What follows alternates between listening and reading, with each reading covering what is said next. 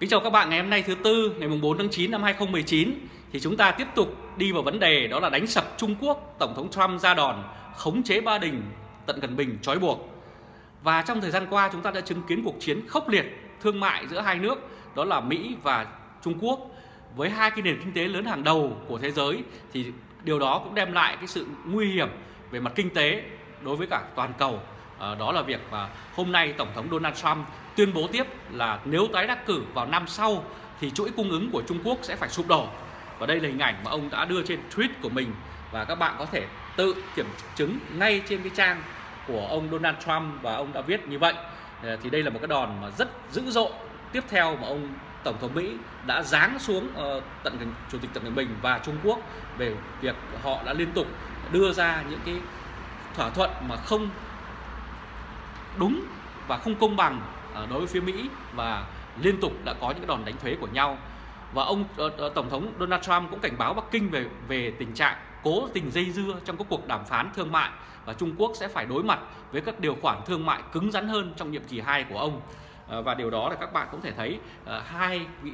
lãnh đạo của hai nước đã gặp nhau nhiều lần ở nhiều vị trí khác nhau và khi họ gặp thì chúng ta cũng chứng kiến những hình ảnh bắt tay nhau rất thân thiện. Nhưng mà chỉ sau đó một thời gian rất ngắn thì tổng thống Mỹ ờ, cũng đã có những thái độ rất rõ ràng và dứt khoát đối với Trung Quốc vì ông luôn cáo buộc với Trung Quốc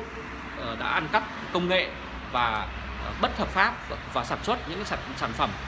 đó để tiêu thụ và bán rẻ ra thị trường thế giới mà không phải bỏ tiền ra nghiên cứu và làm những cái động tác và không tôn trọng những cái luật chung của thương mại và điều đó dẫn đến việc mà thương mại giữa Trung Quốc và Mỹ đã không công bằng và Mỹ ờ, luôn luôn chịu ờ, nhập khẩu rất nhiều hàng ở Trung Quốc và Trung Quốc xuất siêu một con số khổng lồ sang Mỹ. Và điều đó ờ, là không thể chấp nhận được khi mà Trung Quốc gian lận thương mại như vậy. Và từ ngày 1 tháng 9 vừa qua, Mỹ đã bắt đầu áp dụng thuế tăng thuế 15% đối với một loạt hàng nhập khẩu của Trung Quốc, trong khi Trung Quốc cũng lập tức là À, áp thuế đối với các hàng của Mỹ, mà trong đó có cả dầu thô, một mặt hàng chiến lược có tầm quan trọng hàng đầu đối với một cái nền à, một cái khu, nền kinh tế sản xuất như của Trung Quốc. Bởi vì các bạn cũng đã biết à, khi Trung Quốc sản xuất thì cần rất nhiều những cái năng lượng và họ đã xây dựng rất nhiều nhà máy lọc dầu để sản xuất ra xăng dầu và những phụ phẩm kèm theo để cung cấp cho nền kinh tế của mình. Nhưng hiện nay mà Trung Quốc đã phải đánh thuế lên dầu thô nhập từ Mỹ thì điều đó rất tai hại bởi vì nó sẽ gây hại trực tiếp đến tất cả những công ty sản xuất ở Trung Quốc và nó đưa đến cái việc mà giá thành sản phẩm chắc chắn sẽ tăng cao và việc này không chỉ dừng lại ở đây ờ, khi mà ờ, Trung Quốc phải nhập khẩu tăng thêm số lượng từ Nga, từ Iran là cái nơi hai nơi mà có cái ờ, bất ổn về mặt chính trị rất lớn trong thời gian tới. Và trước đó thì ông Donald Trump đã đòi tăng thuế tới 50% lên hàng của Trung Quốc, nhưng ờ, đương nhiên sau đó ờ, được cấp dưới can ngăn và tạm thời, ông chỉ tăng 5% với một số mặt hàng đã bắt đầu được áp dụng từ ngày 1 tháng 9 và số khác từ ngày 15 tháng ờ, 12 tới. Và điều đó sẽ dẫn đến việc hàng của Trung Quốc khi nhập vào Mỹ sẽ có giá thành rất cao. Và đương nhiên những nhà nhập khẩu và những người ờ, sản xuất và tiêu thụ hàng tại Mỹ họ sẽ tìm mọi cái kênh khác để họ tiếp tục ờ, nhập hàng mà không phải từ Trung Quốc. Và điều đó dẫn đến việc rất nhiều hãng xưởng hiện nay từ Trung Quốc đã ao ạt ờ, chuyển cơ sở sản xuất sang những nước xung quanh mà trong đó có cả Việt Nam, Thái Lan và nhiều nước khác. Và đương nhiên thì trong cái quá trình này thì Việt Nam là cái nước đang hưởng lợi uh, trong cái việc mà Trung Quốc bị uh, một cái cuộc uh, chiến thương mại với Mỹ rất căng thẳng. Và cũng điều đó dẫn đến việc phát biểu tại trường đảng Trung ương Cộng sản Trung Quốc hôm mùng 3 tháng 8, Chủ tịch Trung Quốc Tập Cảnh Bình thừa nhận rằng Trung Quốc đang đối mặt với rủi ro dồn dập. Và đây là hình ảnh của ông uh, Tổng Bí thư Chủ tịch nước Tập Cảnh Bình uh, đã nói. Và ông đã liên tục có những cái phát ngôn để chấn an dư luận, chấn an nhà đầu tư. Nhưng uh, điều này chắc chắn sẽ rất khó khăn cho ông trong thời gian tới vì uh, với cái thể chế uh, cộng sản và độc đảng như ở Trung Quốc và người dân bị kìm hãm rất nhiều về vấn đề tự do như các bạn cũng đã thấy khi ở đến Trung Quốc thì chúng chúng ta sẽ không sử dụng được Facebook, YouTube và nhiều những sản phẩm tự do khác và điều đó kìm hãm cái sự uh, nghiên cứu và phát triển của Trung Quốc đối với những cái công nghệ cốt lõi và hiện nay Trung Quốc đang phụ thuộc vào Mỹ rất nhiều vào Nhật với những chất bán dẫn, phần mềm, phần cứng và khi Trung Quốc không được cung cấp đầy đủ những cái điều đó thì hoặc chỉ thiếu hụt một số sản phẩm cơ bản thì những sản phẩm của Trung Quốc sản xuất ra sẽ trở nên lạc hậu và khó tiêu thụ trên thị trường. Và cũng thời điểm này thì tập đoàn Huawei của Trung Quốc dường như cũng đang bị bóp nghẹt giữa cuộc chiến thương mại ờ, với Mỹ và Trung Quốc và các bạn thấy hình ảnh của tập đoàn này trong suốt thời gian vừa qua trên những phương tiện truyền thông của quốc tế mà ngay tại Việt Nam cũng đã bắt đầu đưa tin và thương chiến càng leo thang, Mỹ càng đóng cửa với Huawei Reuters vừa dẫn nguồn tin không nêu tên cho biết chính quyền Washington vẫn chưa cấp bất kỳ giấy phép nào để bán linh kiện và phần cứng cho tập đoàn công nghệ Huawei của Trung Quốc đang nằm trong danh sách đen thương mại của Washington. Và gần đây nhất, các bạn cũng đã chứng kiến việc Việt Nam đã từ chối không sử dụng công nghệ 5G của Huawei để ờ, xây dựng hệ thống viễn thông tại Việt Nam. Và điều đó ờ, chứng tỏ Việt Nam bắt buộc ờ, cũng phải tham khảo và coi trọng vấn đề an ninh và bảo mật của mình. Vì các bạn biết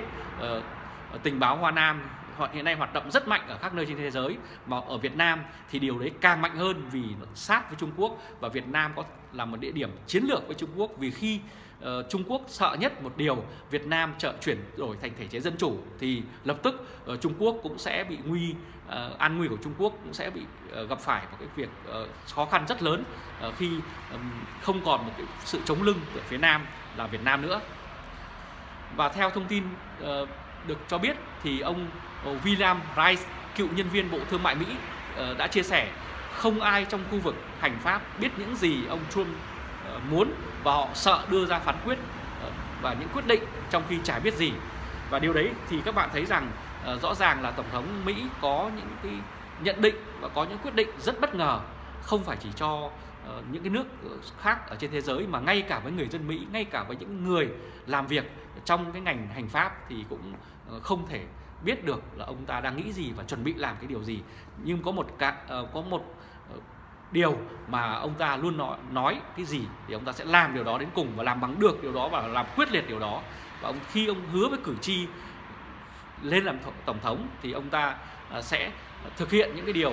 đó và bây giờ ông ta đang thực hiện và một cái hy vọng nhỏ nhoi cho đến nay ờ, đối với ờ, một cái công ty tập đoàn hàng đầu của Trung Quốc ờ, đó là Huawei là việc tổng thống Donald Trump đã cho gia hạn giấy phép chung tạm thời trong tháng, tháng 8 này và thời gian ngắn tới là cho phép Huawei mua một số linh kiện và nhập nhận cập nhật phiên bản mới của hệ điều hành Android và các cho các dòng điện thoại thông minh của công ty này. Đây là cái điều mà rất cốt lõi đối với một cái nhà sản xuất khi mà họ đưa ra phần cứng thì họ bắt buộc phải có cái phần mềm là hệ điều hành. Và nếu thiếu cái điều đó thì không chiếc điện thoại đẹp đến đâu cũng không thể hoạt động được vì nó không còn còn có linh hồn ở trong đó nữa. Và điều đó cũng